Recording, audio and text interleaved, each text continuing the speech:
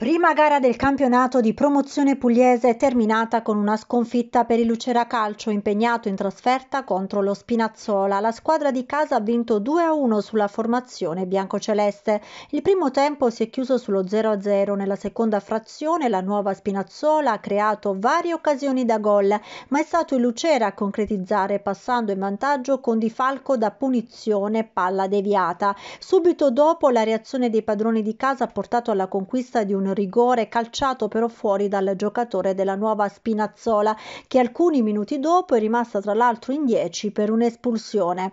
Nonostante questo sono arrivati due gol firmati da Ieva e Loconte che hanno travolto il Lucera Calcio. I biancocelesti infatti in superiorità numerica e con un rigore concesso fallito da Rodriguez che ha calciato alto non sono riusciti a pareggiare incassando così una sconfitta per 2 a 1.